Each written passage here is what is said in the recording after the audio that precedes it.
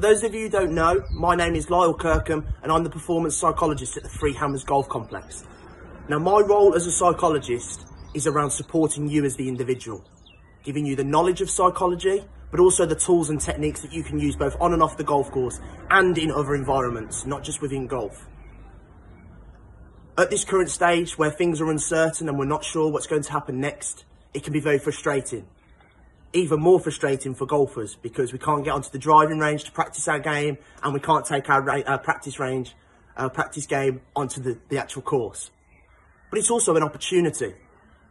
It's an opportunity for you to explore other avenues of your game that previously haven't been explored before. And psychology might be one of those. So I want to open this out to you. I want you to ask any questions you have around psychology. That might be how to deal with first team nerves, or how to put together 18 holes, or even how to stay in the present moment, and or how to stay relaxed. It can be absolutely anything. I want to hear from you. So if you do have a question, send it in to us at Spark Performance and use the hashtag AskLyle. I look forward to hearing your questions.